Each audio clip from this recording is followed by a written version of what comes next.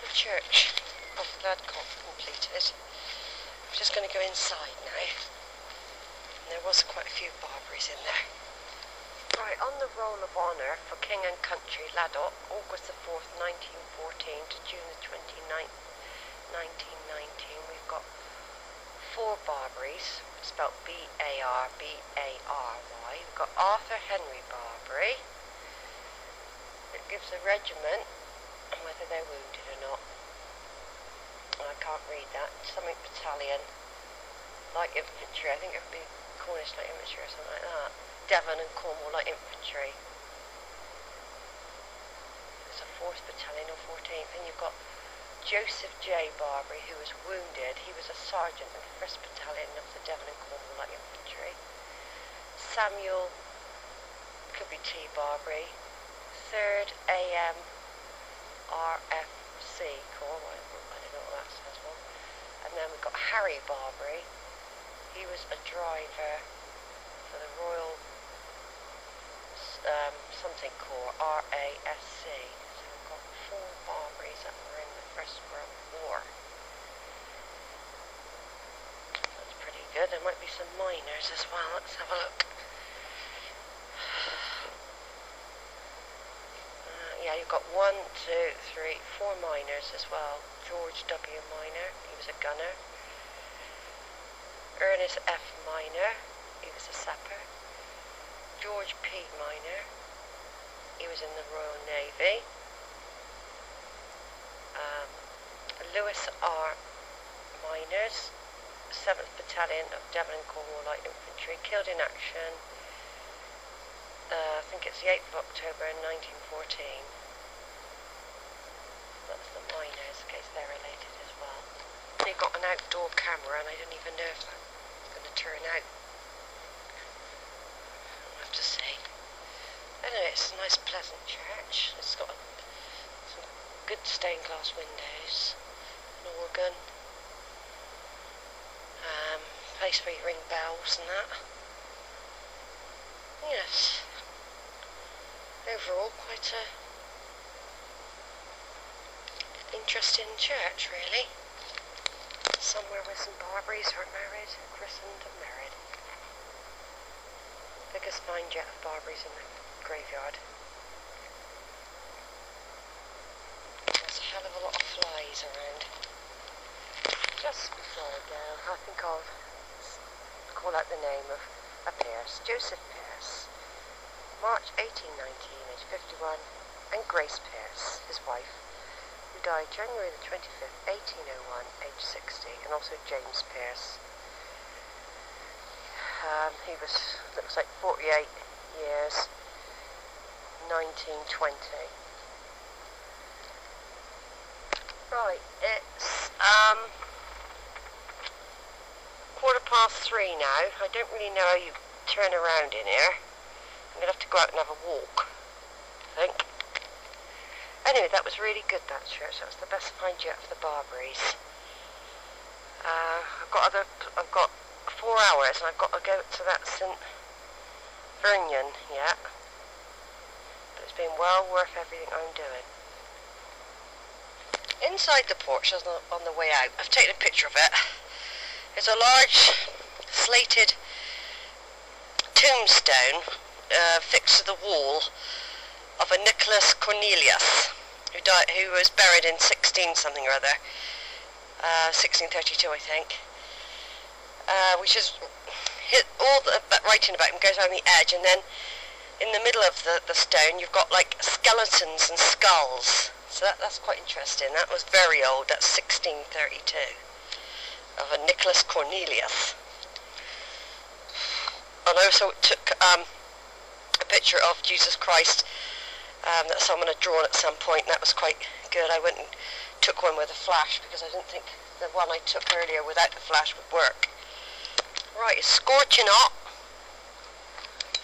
it's time to make our way to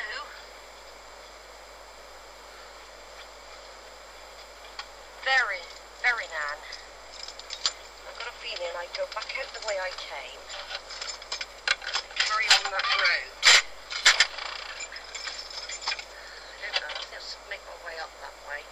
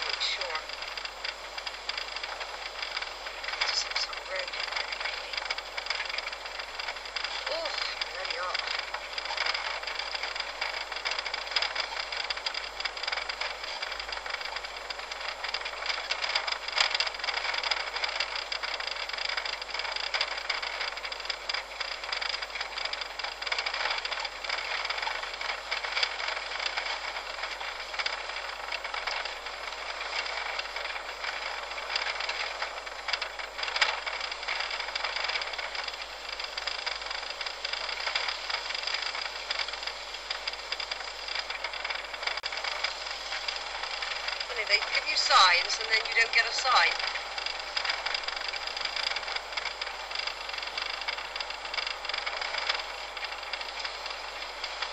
Get stuck in the maze of these roads and never get out of them. The thing is, I am limited to time, really.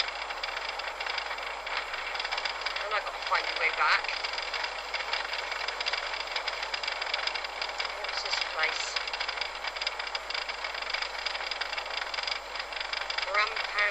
Grampound Road.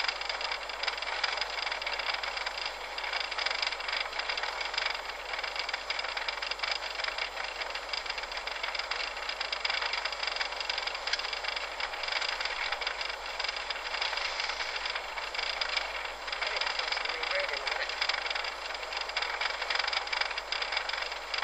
Truro Road, don't we? Not quite sure which way to go. I'll try this one.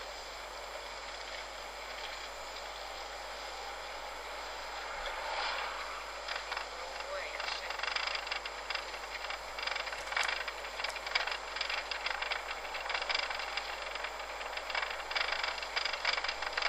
We've got the- I don't know where we are. Let's pull in a minute.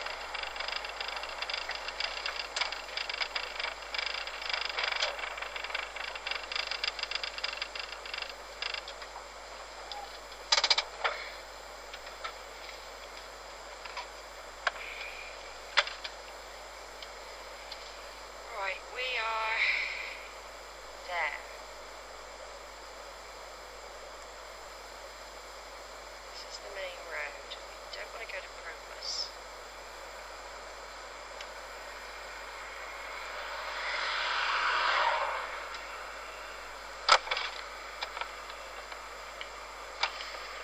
We go down here.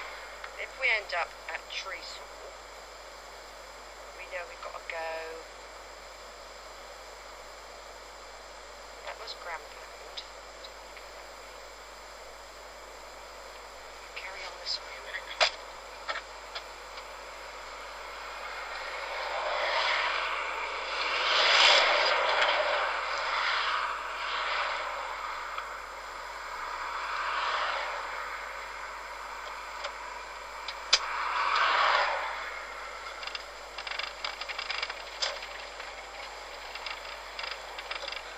Might be on the right track.